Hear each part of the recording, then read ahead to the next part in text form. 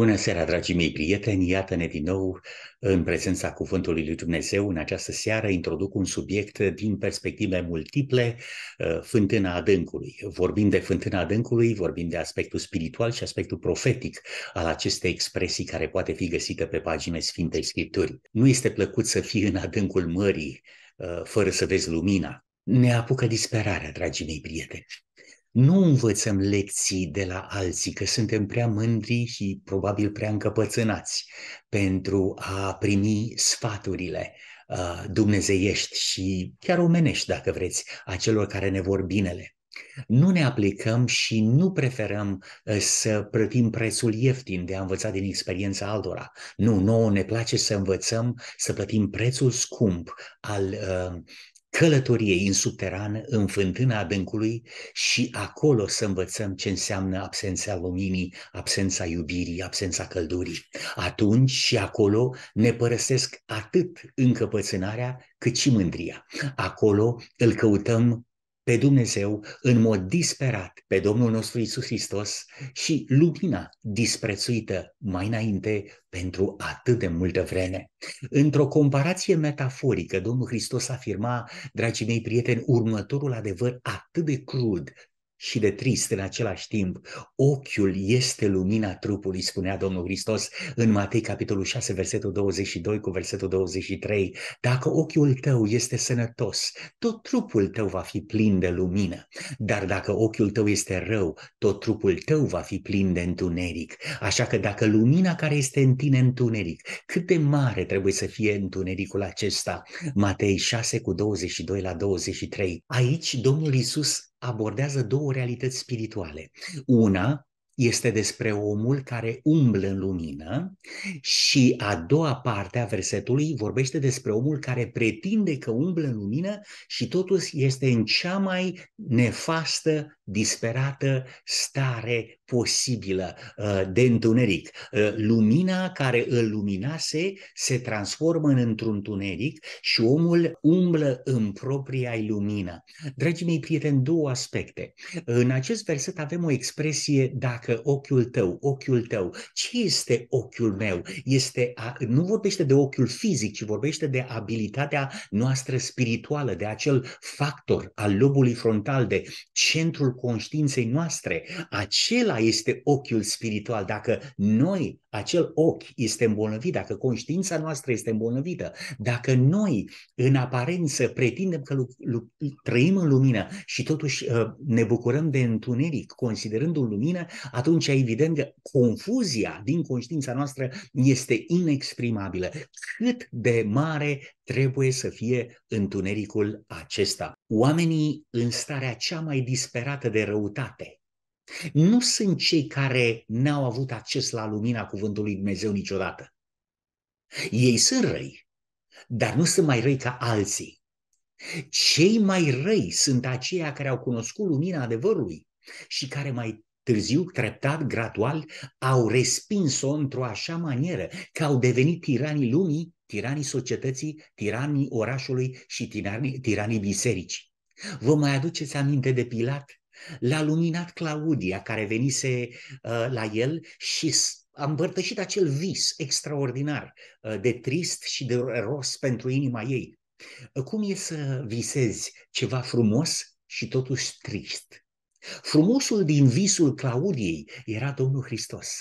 Tristul din visul Claudiei era soțul ei, bărbatul ei. Partea tristă din vis era că Pilat pe care îl iubea ea ca soț era trădătorul, era cel care avea să-l crucifice pe Domnul Hristos. În timp ce era fidelă soțului pe care îl iubea, ceva straniu se petrecea în inima ei. Evanghelia pătrundea în întuneric, ă, Hristos lumina întunericul într-o așa manieră că ea se lăsase atrasă de frumusețea caracterului Domnului Hristos. Aceasta este Claudia, o femeie care n-a fost expusă niciodată la adevăr. Pilat fusese expus la adevăr pentru că l-a întrebat pe Isus ce este adevărul. Isus l-a privit țintă în ochi și i-a spus, chiar te interesează? În timp ce Claudia ieșea din întuneric la lumină, în timp ce Claudia primea revelația Domnului Hristos și accepta tranzitul de la moarte la viață, Noi numim acest fenomen înviere sau mai profund nașterea din nou, nu-i așa? În același timp, Pilat pleacă de la viață și alege moartea. Pleacă de la lumină și ajunge în, în întuneric. Și aici Domnul Isus Hristos l-a întrebat pe Pilat, dacă lumina care este în tine și care mă recunoaște, spiritul tău, cugetul tău, conștiința ta, mă recunoaște pe mine și totuși respingi apelurile proprii tale conștiințe și această lumină devine întuneric, cât de mare trebuie să fie întunericul din tine, Pilat, întunericul din inima ta. Darwin vrea să devină un teolog mare și a devenit un ateu. Frederic Nietzsche a vrut să fie și el teolog și a devenit ateu. Cred că și Stalin și Lenin au avut uh, un istoric, mai mult sau mai puțin cu caracter religios. Hitler în tinerețe, ci că s-ar fi întâlnit cu o tânără care s-ar fi îndră- de care s-ar fi îndrăgostit uh, și aceasta i-ar fi adus lumina uh, adventă în profeție, explicându-i că nu se poate uh, ca el să restabilească sau să resusciteze vechiul Imperiu Roman, vechiul Imperiu Soare. Uh, evreii rabini la Auschwitz erau primii care care se lepădau de credința în Dumnezeu, Dumnezeul lor, nu? Și în disperata lor dorință de a fi eliberați, făceau listele cu evreii de la, de, din lagăr. Uitați-vă la creștinii noștri, care odată părăsind camera de sus, ca și Iuda, au mers afară și în noapte uh, au început să trădeze cuvântul lui Dumnezeu. Așa cum spune cuvântul, noapte era în inima lor așa cum era și în noapte în inima vânzătorului Iuda. Prieteni, rar se întâmplă să fii absorbit de adâncul fântânii păcatului. Cine iese din întuneric, dacă mai iese, apreciază lumina. Cine pleacă de la lumină sau din lumină va disprețui lumina și va aprecia întunericul. Aceștia, dragii mei, se împart în două categorii. Fii luminii care devin fii ai întunericului și fii întunericului, așa cum spuneau, care n-au fost niciodată expuși la lumină, devin fii ai luminii.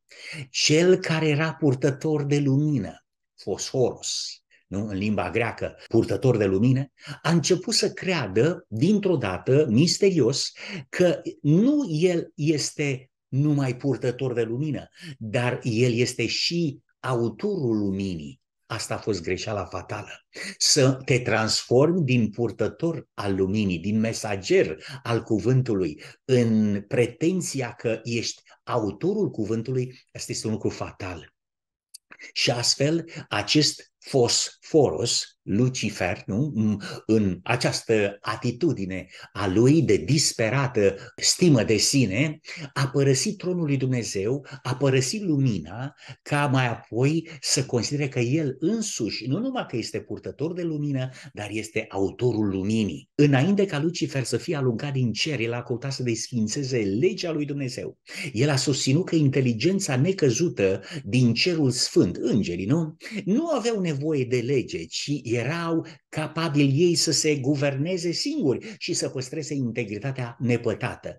Lucifer era heruvin, acoperitor, cea mai înălțată dintre ființele create cerești. El stătea cel mai aproape de tronul lui Dumnezeu și era cel mai strâns legat și identificat cu administrația guvernării lui Dumnezeu. Cel mai bogat dintre creaturi, cu înzestrat cu slava mărăției și puterii sale. Dumnezeu nu mai avea nimic de a-l impresiona pe, pe Fosforos, pe acest purtător de lumină. Domnul Iisus, Tatăl nostru din ceruri, împărtășise cu Lucifer toate detaliile frumuseții caracterului dumnezeesc. Nu-l mai impresiona nimic, nu mai era nimic în Dumnezeu care să îi atingă inima tot ceea ce era necesar să fi fost făcut cunoscut uh, de către Dumnezeu ființelor create, îi fusese descoperit și lui. Dumnezeu nu mai avea nimic în storage, nu mai avea nimic în, în cămara sufletului ca să nu-i fi descoperit lui Lucifer să-i atingă inima. Toate lucrurile fusese redescoperite. Din nefericire, zarurile au fost aruncate. Lucifer nu mai putea fi recuperat. Detrimental faptului că Dumnezeu i-a oferit o perioadă de grație, de a se întoarce la el. Aici, dragii mei prieteni, se pare că putem răspunde la această întrebare și cât de mare trebuie să fie întunericul acesta dacă el care a fost la, lângă tronul lui Dumnezeu, a fost purtător de lumină și a a transformat lumina în întuneric. Rămâne întrebarea Domnului Hristos și dacă lumina din tine devine întuneric, cât de mare trebuie să fie întunericul acesta? Această, de fapt, declarație uh, despre căderea lui Lucifer răspunde la întrebarea cine este, de fapt, îngerul adâncului? Cine altcineva decât cel care a plecat de la lumină și s-a dus la întuneric? În uh, Apocalipsa 9 cu 11, în limba engleză, expresia 9-11, 9-11, septembrie 11, uh, pentru lumea americană are o connotație specială pentru că de atunci, uh, de la căderea turnurilor, nu? Uh, Apolion și Abadon, de la căderea celor două turnuri egale, nu? Ale Americii, de atunci se pare că lumea americană a început să fie mâncată de șobolani care mănâncă libertatea și drepturile omului în fiecare zi.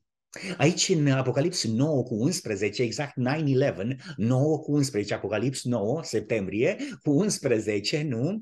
Um, avem declarația, peste ele aveau ca împărat pe îngerul adâncului, care în evreiește se cheamă Abadon și în grecește se cheamă Apolion. Dragii mei prieteni, nu cred că avem nevoie de o clarificare cu privire la cine este îngerul întunericului sau îngerul adâncului. E cel care a părăsit lumina, nu? Cine de fapt atunci sunt fiii luminii care au plecat din întuneric și au venit la lumină? Uh, Pana inspirată din nou spune uh, într-o pledoarie extraordinară, cei care au cel mai mult de biruit uh, vor fi asemenea păcătosului căruia Hristos i-a iertat mult că ce a iubit mult. În cele din urmă vor sta cel mai aproape de tronul lui Dumnezeu. Deci, dragii mei prieteni, aceia care au fost cel mai aproape de tronul uh, de cauza celui rău, uh, vor deveni prin biruință în Hristos cel mai aproape de tronul scumpului nostru Mântuitor Isus Hristos. Astăzi în lume avem fii ai luminii veniți din întuneric și avem trădători care sunt foști fii ai luminii în prezent. Fii ai întunericului veacului acestuia. Așa cum spune Apocalips 9 cu 11, 9-11, nu?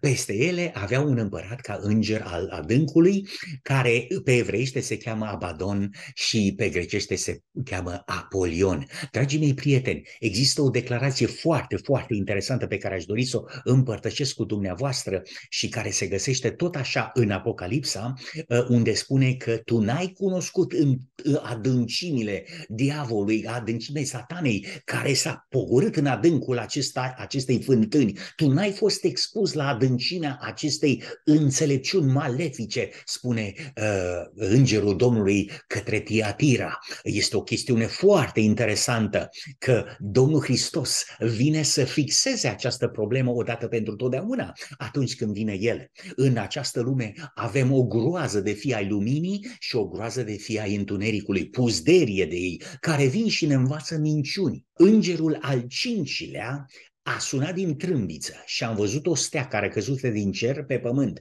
I s-a dat cheia fântânii adâncului. Deci, atenție, fântâna aceasta adâncului, care este întotdeauna uh, legată de revelația pe care ar fi avut-o Mohamed lângă o fântână, sau că pământul vorbea, pământul recunoștea pe Mohamed că el este profetul ultim al lui Dumnezeu în ghilimele, fără profeție, uh, Pana inspirată spune în Apocalips capitolul 9 cu versetul 1 că va exista și există o fântână a adâncului, așa cum spune Apocalipsa uh, capitolul 2, că există o adâncime a cunoștinței malefice, a răutății, uh, dar totuși Dumnezeu are un înger care ține cheia.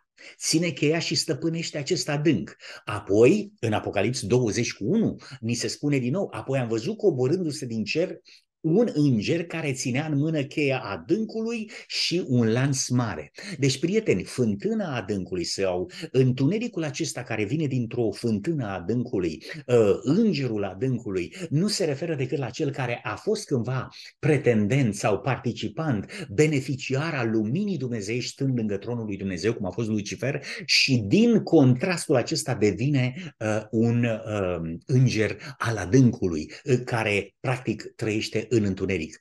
Când Iuda a părăsit pe Domnul Hristos la Sfânta Cină, s-a produs exact același fenomen. El a ieșit afară, iar pana inspirată spune că noapte era în inima vânzătorului. El a ieșit afară în, din întuneric, a părăsit zona de grație, zona de har, zona de milă a lui Dumnezeu. Dragii mei prieteni, asta s-a întâmplat. În această situație există oameni care au fost expuși adevărului și care mai târziu, prin apostazie, lepădare de credință, aceștia devin fii ai întunericului.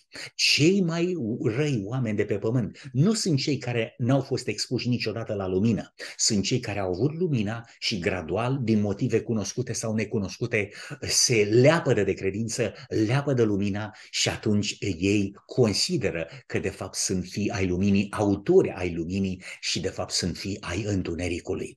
Deci adevărul vine de sus, prieteni, minciuna vine de jos. Minciuna cu nas mare și cu picioare scurte. Vă aduceți aminte că istoria căderii în păcat începe cu o grădină, cu pomi, uh, un șarpe în pom și o femeie care se uită fascinată uh, sau mesmerizată la coloratura sau frumusețea șarpelui cu aripi cocoțat în, vântul, în vârful pomului interzis, vă mai aduceți aminte de, a, de aceasta? Cei care, apropo, cei care contestă ideea că șarpele a avut cândva aripi, ar face bine să se uite la ouăle de basilic și să-și aducă aminte că șerpii se mulțesc prin depunere de ouă și nu prin nu, naștere ca mamiferele. Până și Hollywood ne prezintă o groază de șerpi cu aripi în cele două filme de acțiune Avatar 1 și Avatar 2. Deci și Hollywood Hollywoodul recunoaște ideea că undeva în timp șarpele, înainte de a fi blestemat, avea aripi și se putea deplasa uh, ignorând spațiul și timpul, nu?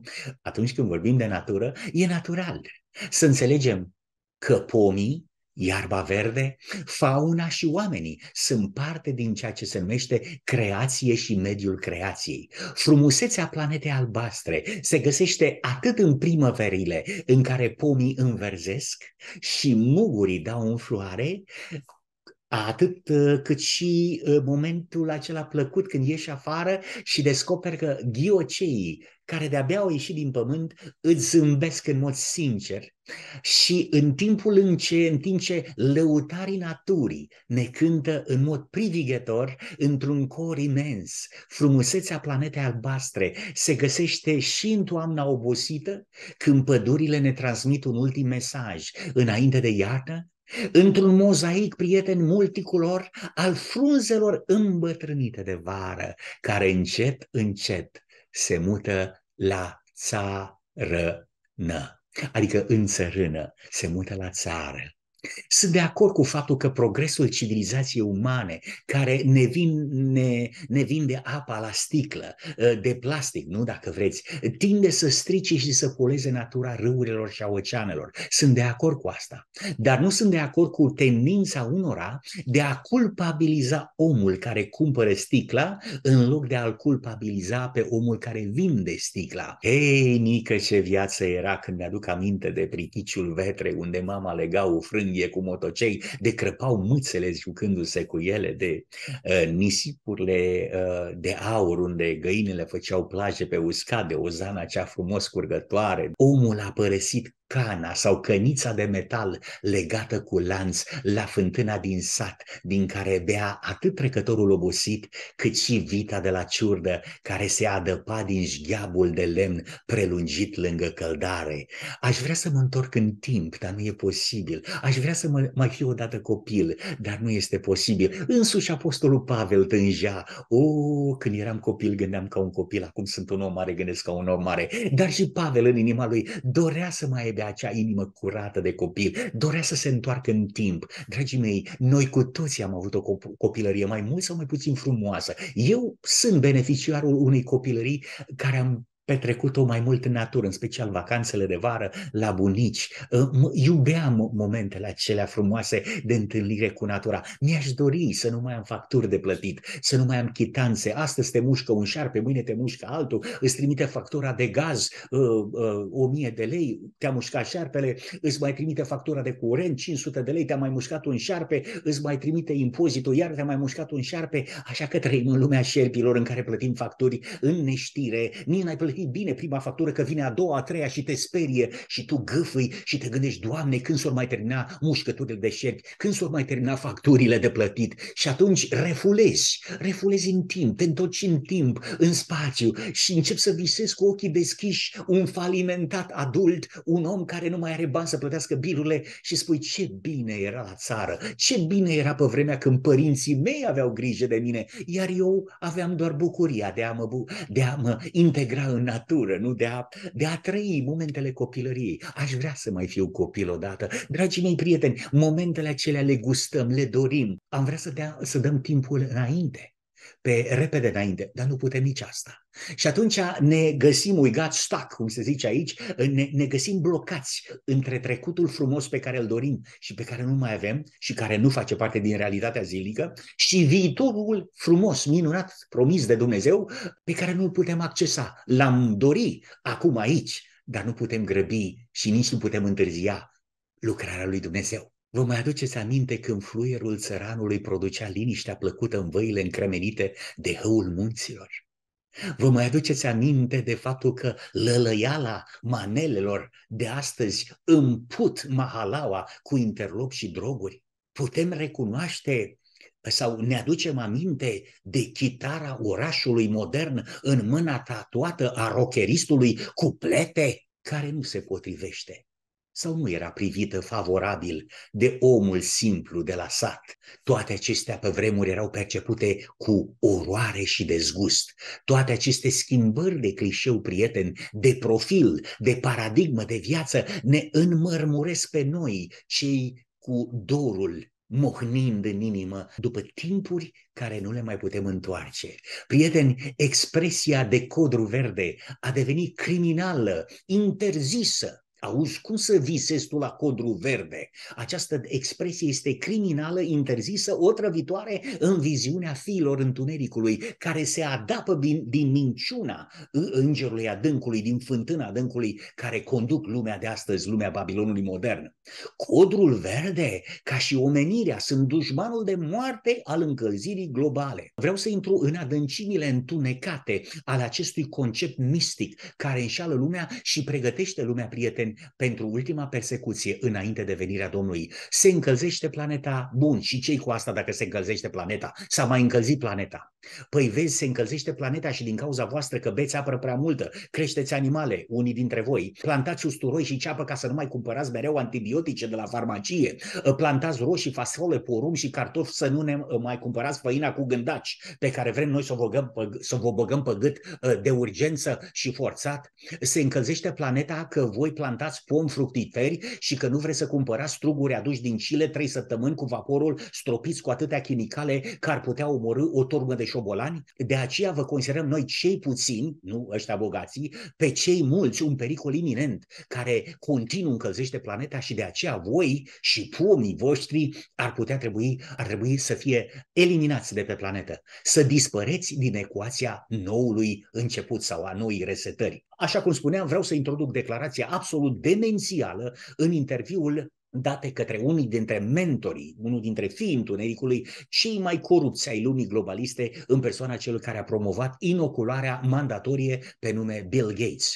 Moderatorul spunea, o, o întrebare. Sunt oameni foarte îndrăgostiți de copaci, spunea cel de la televiziune. Avem chiar copaci aici în studio. Unii chiar uh, uh, ar spune că dacă ai plantat destui pom sau destui copaci, aceasta ar putea rezolva pe deplin problema climatică. Și atunci nu mai ai nevoie de înforțarea unei, uh, unui regim de dictatură mondială. Dacă plantezi pomi, lași oameni, oamenii liberi. Credeți că i-a convenit declarația sau uh, această propunere a moderatorului uh, către domnul Bill Gates, ce răspunde el? Ha, asta este o prostie totală, zice el, e nonsens. Adică suntem noi oameni de știință sau suntem idioți? Pe care dintre cele două variante le-am alege? Deci ăștia vor încălzire globală ca să pună dictatura pe planetă și să-ți ia apa, aerul, soarele și dreptul la existență. Simplu ca bună ziua. De aia se încălzește planeta când vor ei și se răcește planeta când vor ei. Iar aici individul ăsta primește o soluție umană, plauzibilă, în, compa- în, în consens cu ceea ce ne spune nouă conștiința. Pomi, iarbă verde, frumos, natură, ciripit de păsărele. Ăștia urăsc treaba asta, dragii mei prieteni. Ăștia urăsc decorul edenic al creației lui Dumnezeu. Îl urăsc pe Dumnezeu pentru că sunt fii ai întunericului. Și ce ne spune ăsta? Când jurnalistul spune sunt oameni îndrăgostiți de pom, de copaci, avem copaci chiar aici în studio, pentru înfrumusețare, nu? Unii chiar spun că dacă am plantat suficient uh, copaci și pomi, am putea rezolva uh, uh, problema climatică. Dom'le, cum să poate să vorbească biserica alături și să susțină această gândire a Fiului Întunericului. Pentru mine este un mister. Cum e posibil ca Roma să cânte la unison, să gândească la unison cu fiii Întunericului, nu? cu globaliștii aceștia care, mă rog, sunt și ei puși de cineva să spună sau să gândească ce spun. Același autor care ne spune că plane, plantarea de pomi este o prostie totală, ne spunea cândva că omenirea nu se va întoarce la normalitate până ce toată planeta va fi vaccinată. Aceiași oameni care ne otrăvesc copiii în școli cu noile concepte de anulare a femeii și bărbatului, aceiași oameni ne otrăvesc cu mâncare poluată, cu ARN mesageri în animale și vegetale. Oare din aceeași vână a izvorului, spune Biblia, țâșnește și apă dulce și apă amară? Iacob, capitolul 3, versetul 11. 2011. Deci când Bill Gates spune și aceasta este o prostie totală, adică să uh, zice să plantezi pomi este nonsens. Adică noi suntem oameni de știință sau idioți? Bill Gates este atot cunoștința, atot știința în acest interviu. Plantarea de pom este o prostie totală. Dragii mei prieteni, din gura acestui om au mai ieșit multe alte declarații. Întrebarea mea este, există un om normal pe pământul acesta care să spună că trebuie să ardem tot Amazonul, cu toate pădurile alea, că să face planeta mai bună și să răcește planeta. Oameni buni, treziți-vă că asta este cea mai mare minciună care ne va duce finalmente la impunerea unei restricții stipulate de Laudato Si și Laudato Meu și câte mai sunt acolo, câte Laudato mai sunt. Dragii mei prieteni, toate acestea vin doar din perspectiva fiilor întunericului care au băut în fântâna adâncului, care sunt în cooperare cu îngerul adâncului, care înger al adâncului va fi închis cu cheia care vine, uh, este purtată de îngerul lui Dumnezeu din Apocalips, capitolul 20, versetul 1. De unde vin uh, aceste învățături? Peste ele avea un împărat care se uh, numea Îngerul Adâncului, care prevește, se cheamă Abadon și în grecește se cheamă Apolion. Știința aceasta ateistă vine de la Îngerul Întunericului, pe care el îl cheamă Abadon. Iar grecii, care și erau atei, uh, îl numeau pe același înger al Întunericului Apolion. Dar învățătura e aceeași. Nimic nu este mai periculos decât amestecul între un evreism apostaziat aziat și uh, o filozofie greacă bazată pe infatuarea uh, umană care spune că eu mă pot salva pentru pe mine însumi și eu însumi am soluția de, pentru viitor, pentru mine, pentru umanitate în mine însumi. De fapt, dacă pomii erau buni în grădina Edenului, atunci sunt buni și astăzi. Vine acum Bill Gates să spună că de fapt un, uh, uh, nu există o grădina Edenului, că pomii sunt răi pentru natură, că trebuie eliminați și nu trebuie plantați. Nu există creațiune, nu există un pom al cunoștinței binelui și răului și în final, în final nu există Dumnezeu. Ăsta este mesajul. Suntem noi oameni de știință sau suntem idioți? Păi la întrebarea asta răspundeți dumneavoastră, domnule Bill Gates. Iată că șarpele dorește să șteargă urmele și să creeze un fum în urma lui, pentru ca oamenii să nu mai poată indica faptul că autorul ă, sau înșelătorul minciunii este chiar el. Asta vrea să facă el, crima perfectă. Deci soluția era că pomii plantați într-o cantitate mare pot rezolva problema încălzirii globale sau încălzirea, problema climatică, dar domnul Gates spune nu, asta este o prostie. Noi oamenii trăim într-o luptă continuă, într-o luptă permanentă, prieteni. Și vreau să vă spun, dragii mei, Dr. Tom Kings a obținut o diplomă de master în știința plantelor în 1990 la Universitatea din Idaho, unde a efectuat cercetări în hormoni vegetali. Era ateu pe vremea, atenție. Și a luat doctoratul în genetică la Universitatea Clemson în 1996 și a devenit un membru al facultății în departamentul de genetică și biochimie de la Clemson. Devine creștin, dragii mei prieteni, după tot ce a studiat ajunge la concluzia că nu există un ceas fără ceasornic, nu există cosmos fără un creator al cosmosului, nu există un design fără designer.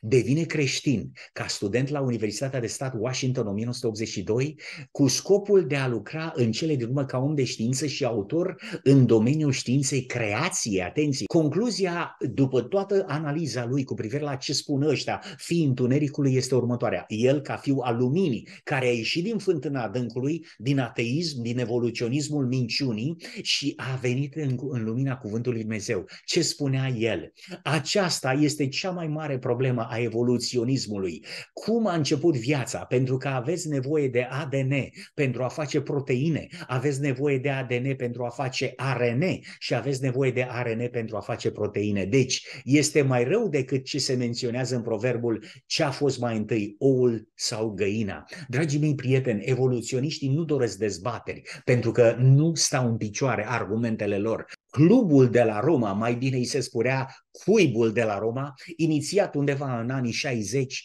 uh, cei mai buni 60 de oameni de știință au fost uh, colaboratori a unui proiect uh, care de fapt aveau să inițieze minciuna aceasta cu încălzirea globală. De fapt, minciuna merge la pachet cu nedreptatea. Spre exemplu, căderea Americii astăzi se datorează, așa cum spunea fostul senator Ron Paul, următorului fapt și spunea dumnealui în declarația respectivă, interese străine primesc bani de la oameni săraci a unei, dintr-o țară bogată, ca să-i dea unor oameni bogați care trăiesc într-o țară săracă. Dragii mei prieteni, aceasta este căderea Americii.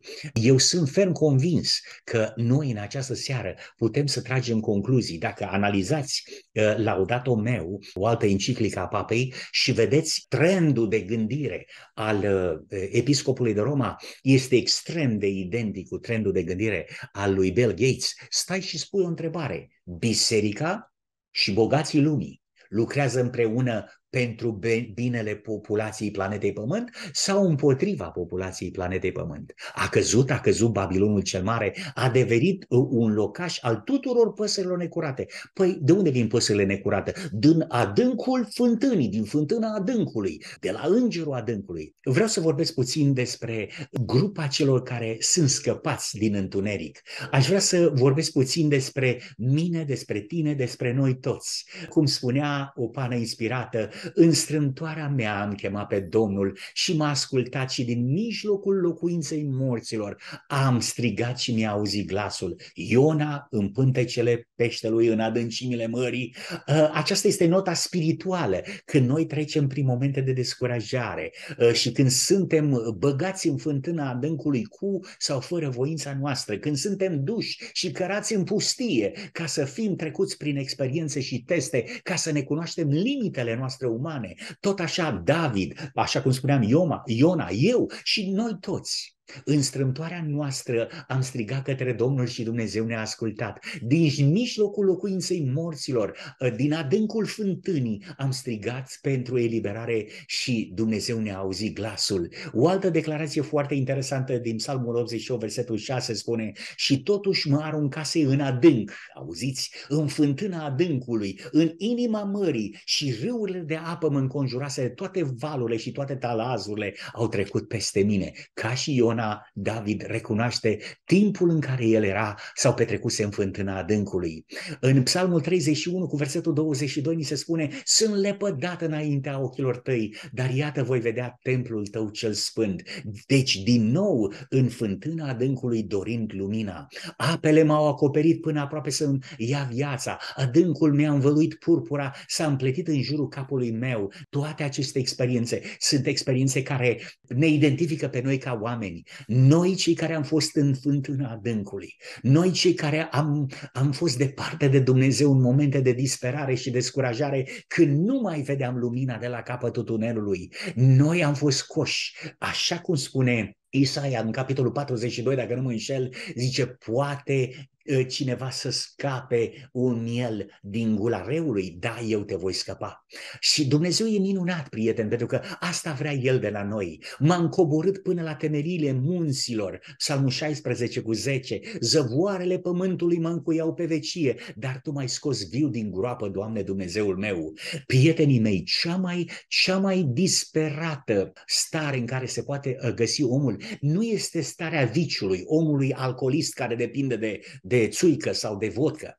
Cea mai disperată stare și mai nenorocită stare a noastră este starea minții în care noi suntem din punct de vedere teologic, din punct de vedere educațional înșelați, pentru că suntem convinși că întunericul este lumină și lumina întuneric, dar vine vremea când Dumnezeu, prin comparație, se descoperă, se relevă, așa cum a fost, uh, s-a relevat acestui mare om de știință ateu, care devine credincios după aceea. Și când noi vedem frumusețea acestei extraordinare experiențe, dragii mei prieteni, putem să tragem concluzii, concluzii frumoase. Când îmi întunja sufletul în mine, mi-am adus aminte de Domnul și rugăciunea mea a ajuns până la tine în templul tău ce sfânt. Din din fundul adâncului, spune David în Psalmul 130, versetul 1, din fundul adâncului te chem, Doamne. Locuința morților și adâncul sunt necunoscute Domnului, cu cât mai mult inimile oamenilor. Deci, dacă Dumnezeu cunoaște fântâna adâncului. Sunt cunoscute Domnului, cu atât mai mult El ne cunoaște inima și dorința noastră. După cum locuința morților și adâncul nu se pot sătura, tot așa nici ochii omului nu se pot sătura. Dragii mei prieteni, ce putem spune noi? Ne întoarcem din nou la Pilat care uh, a primit lumină de la Claudia, soția lui, ca să se poată întoarce la Dumnezeu și a refuzat acea lumină. În această seară este apelul meu de suflet ca cei care trăiesc în adâncul acestei fântâni și să adapă din izvoarele murdare, corupte ale îngerului adâncului să privească sus către Dumnezeu, de la care vine toată lumina, El însuși, Tatăl Luminilor. Să ne ajute Bunul Dumnezeu ca în această seară să putem primi adevărul în loc de minciună, să putem accepta lumina în loc de întuneric și să poposim la picioarele Domnului Hristos, să ne odihnim în El până ce va veni, pentru că vremurile sunt întunecate pe pământ și un mare nor de întuneric acoperă pământul. Dragii mei, nu mai este mult și vine Mântuitorul. Și ce va fi la anul? Va fi atât de intens, încât va acoperi, dragii mei prieteni, și va face de rușine toate promisiunile noastre de început de an. O, vreau să mă fac mai bun, o, vreau să mă schimb, o, vreau să renunț la asta. S-a terminat cu promisiunile. Este ceasul în care noi ne vom confrunta cu propria realitate, nu realitatea altora, pe care o gustăm la nivel de bârfă, dar realitatea cu privire la cine suntem noi, frământările noastre, luptele noastre, realitatea cu privire la limitele noastre ca indivizi. Bunul Tată cere să ne ajute să privim în El, să privim la El și din adâncul fântânii care ne-a învițit să strigăm cu glas mut în inima noastră, scapă-ne, Doamne, așa cum omul la care ieșise din morminte a venit înaintea Domnului, iar inima îi striga, scapă-mă, în timp ce gura rostea ce vrea îngerul adâncului. Domnul Hristos l-a întrebat care ți este numele și l-a răspuns cu teamă, legiune că suntem mulți. Și Domnul Hristos, Mântuitorul nostru, a poruncit cu glas de tunet ca tot să-l părăsească, iar omul din Gabara sau de unde era ăla să vorbească cu inima lui. Și el săracul a zis, vreau și eu să stau lângă tine pentru viața veșnică. Și spune, nu trebuie să stai lângă mine, zice Iisus, că eu merg cu tine pe nevăzute, dar tu du-te la ai tăi tăi, du-te la familia ta și spune-i ce ți-a făcut Isus care e cu tine și pe care ei nu-l văd. Un om care a fost cândva al întunericului se întoarce la lumină. Iubiții mei prieteni, acest fenomen se petrece în fiecare zi. Domnul Hristos salvează oameni, îi scoate din fântâna adâncului, ă, îi, ă, îi face să renunțe la învățăturile îngerului adâncului și le dă lumina adevărului frumos. În timp ce acest fenomen de mântuire și de salvare se petrece pe planeta Pământ în același timp, Oameni care au cunoscut lumina abandonează cuvântul adevărului, biserica, frumusețea cuvântului, Biblia și se întorc în fântâna adâncului. Ce trist, ce tragedie că cei care sunt cel mai aproape de tronul lui Dumnezeu astăzi și au acces la dragostea și iubirea lui Dumnezeu, părăsesc imediată apropiere a tronului Tatălui Ceresc, a sferei de influență a Duhului Dumnezeu și merg pe teritoriul întunericului în fântâna adâncului. Dragii mei prieteni, să alegem dacă vrem să fim parte din fiii întunericului care își adapă sau se adapă din cunoștința unei minciuni care se portretizează a fi adevăr, sau să fim parte din fiii luminii care sunt urmașii Domnului Hristos și care ies din fântâna întunericului. E rugăciunea mea fierbinte în această seară pentru noi toți. Amin. Să ne rugăm. Bunul nostru Tată din cerul, îți mulțumim extrem de mult pentru prezența îngerilor tăi sfinți, pentru dragostea ta, pentru iubirea ta, pentru șansa că ne dai posibilitatea să cunoaștem frumusețea ta prin comparație. Îți bagi mâna în fântâna adâncului și ne scoți de acolo și ne dai bucuria împăcării cu tine. Te iubim, te iubim uh, în, într-un mod, într-o manieră care depășește orice expresie umană, incomensurabil, te iubim la infinit, Tată Ceresc. Și îți mulțumim că ne-ai dăruit prietenia Domnului Hristos, care este condiționată de ascultarea de cuvântul tău și de cuvântul Domnului Isus, Fiul tău. Noi nu putem să uh, ne modificăm voința, dar ți-o putem supune ție. Și voința noastră ți-o dăm astăzi ca să o iei tu. Noi nu putem să-ți dăm inima, dar te rugăm, vino ia-o tu. Ia-o tu și fă o mai bună, schimbă dă-ne ceva care să funcționeze în cooperarea absolută, infinită, permanentă cu tine. În numele lui Isus ne rugăm pentru cei care sunt potențiali fii ai tăi și sunt încă în fântâna adâncului. În numele lui Isus îți mulțumim, te iubim. Amin.